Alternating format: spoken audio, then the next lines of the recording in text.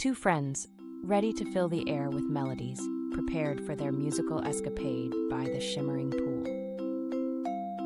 A new performer emerged, surprising everyone with a voice that resonated with the beauty of nature.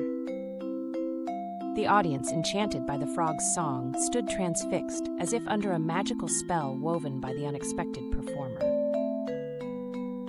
Emotions stirred within the duo as their music, once the center of attention, now lingered in the background, overshadowed by the newfound star. In the quiet embrace of the shade, two companions pondered on how to reclaim the spotlight that once gleamed upon their harmonies.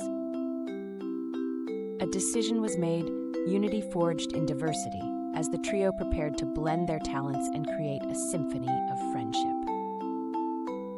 The onlookers, touched by the unity of the performers, reflected a spectrum of feelings, swept away by the harmony that transcended their differences.